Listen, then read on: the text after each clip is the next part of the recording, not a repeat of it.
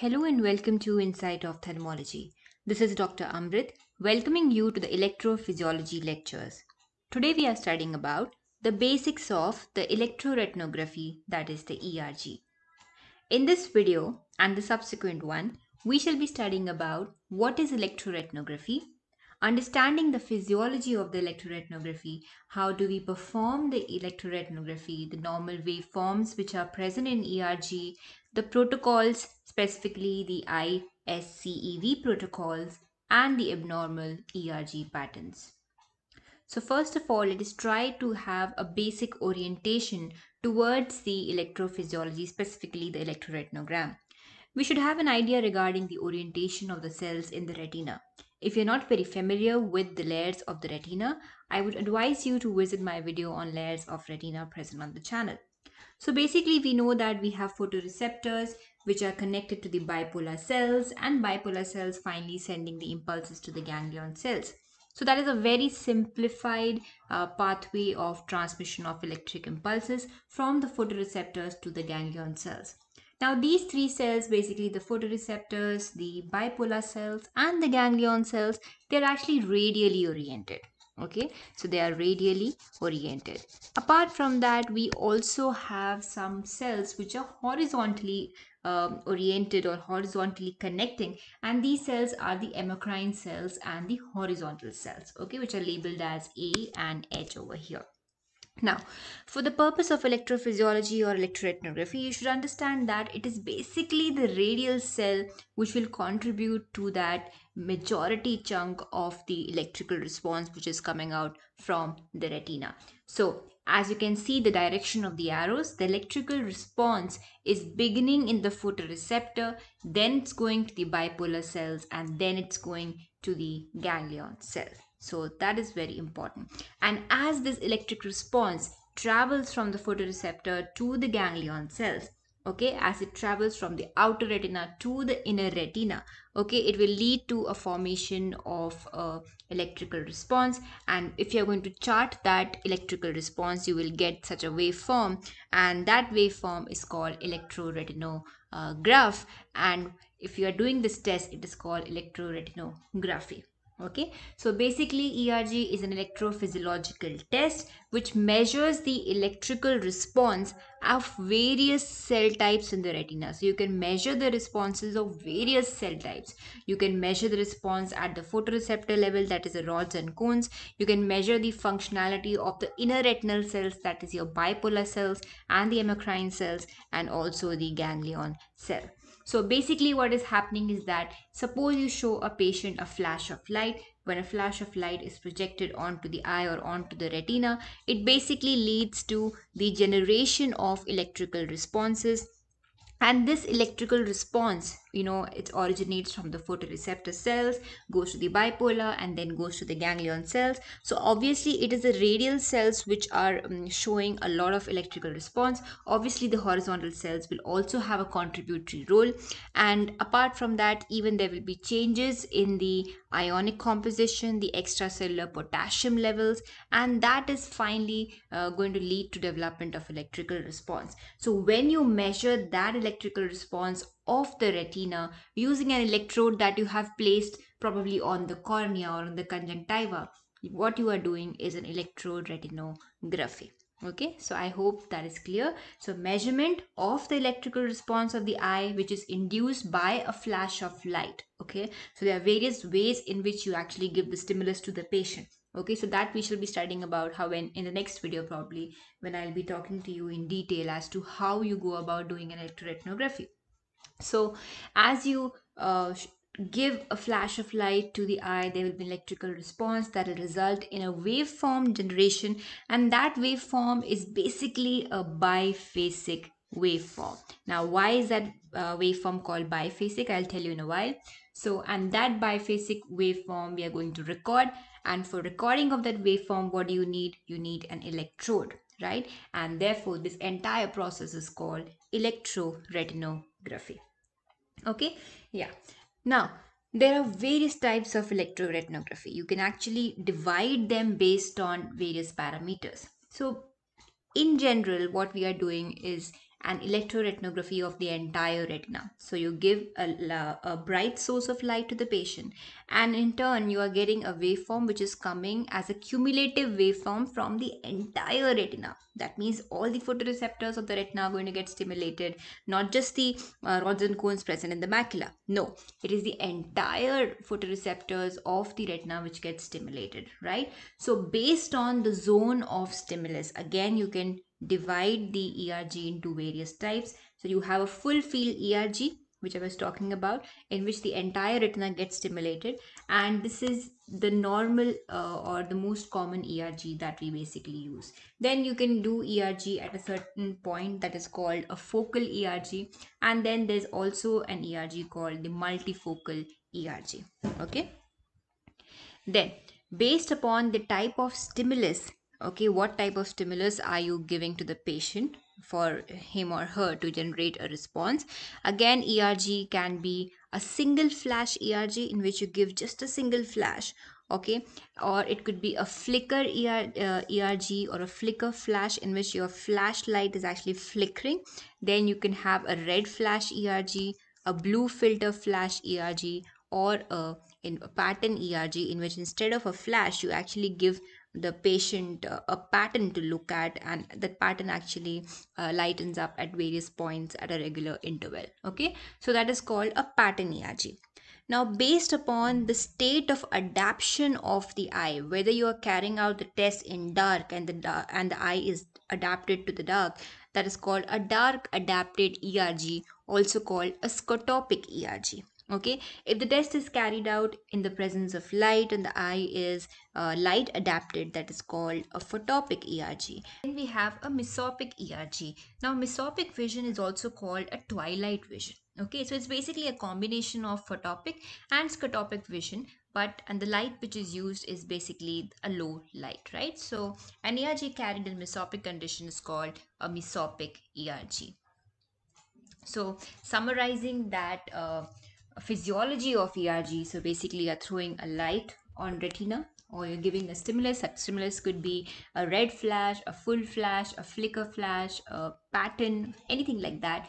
And that is going to cause changes at the level of the photoreceptors, leads to photoisomerization of the rhodopsin.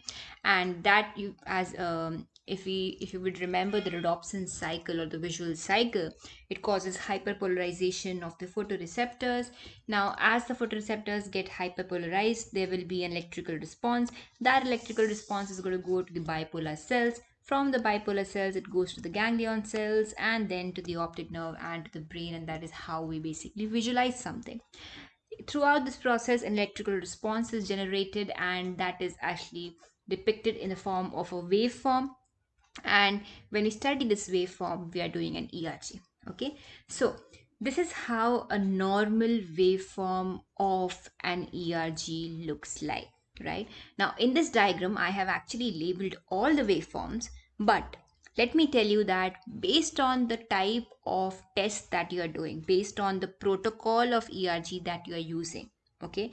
And based on the state of the eye whether it is dark adapted or light adapted you might see different waveforms and you might see different shapes of the waveform. You might see different number of waveforms okay? So it's not necessary that you will see c wave d wave all the time. And uh, to tell you actually c wave and d waves are actually very rare. And all you see is an a wave and a b wave. And on top of the b wave you might see these uh, zigzag like lines which are the oscillatory potentials okay? So for the purpose of simplicity an ERG for most of the time has two waves an A wave or a B and a B wave. And since there are two waves this is called a biphasic waveform. Okay so it's called a biphasic waveform. So I hope that is clear to you. Now as you can see the A wave is basically a negative wave okay here and this A wave is actually coming from the photoreceptors it is coming from the rods and the cones and then you have a positive wave that goes up and that wave is called the B wave right? And this B wave comes from the bipolar cells and the Muller cells. So you can remember that the B wave, uh, B wave and bipolar cells, bipolar also has a B in it. So B wave comes from the bipolar cells, okay? Then you have the C wave and the D waves and then you have the oscillatory potential. The oscillatory potentials are these you know wave small small wavelets which are actually superimposed on the ascending limb of the b wave. So you have this b wave. On the ascending limb of the b wave you have this oscillatory potentials and they come from your amacrine cells. Okay? Now why is the a wave negative? The a wave is negative or like a trough because it is a hyperpolarization wave. A B wave is a positive wave because it is a depolarization wave. Okay? Now as i was talking about the c wave and a d wave now you don't uh, really see these c waves and d waves all the time so first let us talk about the c wave. The c wave is not very practical. You don't really see it all the time. It actually arises due to the changes in the ionic status in the subretinal space. The subretinal space the space which is between the rp and the neurosensory retina. So we say that the c wave is actually coming from the retinal pigment epithelia okay? And usually it is a positive wave which comes because of the reduced subretinal K uh, potassium ions okay in response to the light stimulus. Similarly you have a D wave. D wave is smaller than the C wave and it is also a positive wave it occurs basically in the photopic ERG and the source comes from the off bipolar cells okay so uh, you can just remember that C wave comes from RP and D wave comes from the bipolar cells and specifically it is the off bipolar cells. However, we usually do not interpret the C, C and D waves. What about the oscillatory potentials? Definitely, these are very important. As you can see, they are uh, they are small, tiny wavelets which are present on the ascending limb of the B wave, and these are high frequency. High frequency means they are coming quite quickly. Okay, so they are high frequency, but their amplitude is low. Okay, and they are small waves, therefore they are called wavelets. Okay, so they are high frequency, low amplitude wavelets superimposed or riding on the ascending limb of the B wave. And from where are they coming? They're coming from the amacrine cells and uh, also from the ganglion cells. So basically, if someone asks you, the oscillatory potential tells you about the status of the inner retina. Okay, and if you would remember, the electrical response generation starts from the outer retina, that is from the photoreceptors. Therefore, the first wave that you see is the A wave that is coming from the photoreceptors and then eventually it goes towards the inner retina and therefore the bipolar cells and the ganglion cells participate. So you get a B wave and B wave is coming from the bipolar cells. In between you have the amacrine cells which are actually uh, causing the development of oscillatory potential on top of the B wave. Okay? So that is how you remember and the importance of oscillatory potential is that they actually tell you regarding the uh, perfusion status of the inner retina. So sometimes uh, there might be absence or reduction in the oscillatory potential and that indicates that there is some sort of ischemic uh, changes which are occurring at the inner retina. So now let us talk about the amplitudes and the implicit times okay so now what is meant by the amplitudes of the wave? Now here we are going to talk about the a wave amplitude and the b wave amplitude.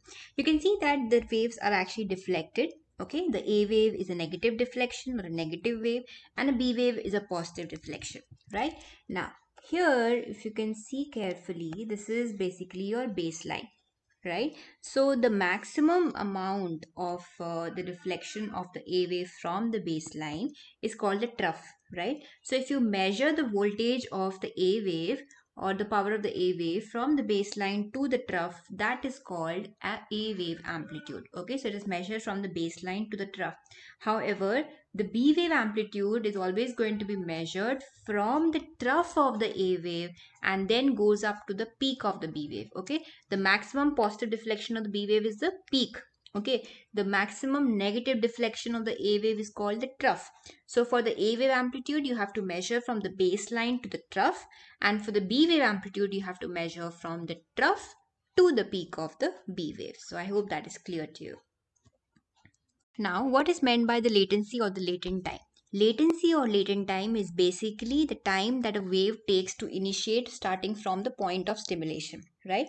So if you start giving the stimulus over here, okay the time taken by the a wave which is the a wave starting basically here so the time which is taken by the a wave from the point of stimulus is called the a wave latency. Now at this point i want you to be very clear that when you have these erg graphs of waveform at x axis basically you have time okay?